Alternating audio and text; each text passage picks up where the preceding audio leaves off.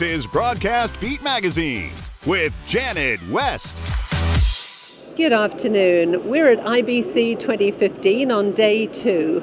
I'm Janet West with Broadcast Beat Magazine.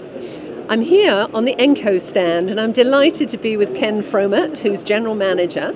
Now, I'm not very familiar with audio and playout systems from Enco, but I also understand you've got something new that you launched at the show. Yeah, this year we launched our new uh, next generation enCaption 3. It's a R2, it's a new version for uh, automated closed captioning for live in real time. So it, it takes the place of uh, needing a live stenographer that normally has to listen and can be very expensive for a television station to to, to do. And now with government regulations, every television station has to provide closed captioning, yep. and this is a way to, to make it less expensive, more cost efficient for television stations to be able to provide that to their to their audience.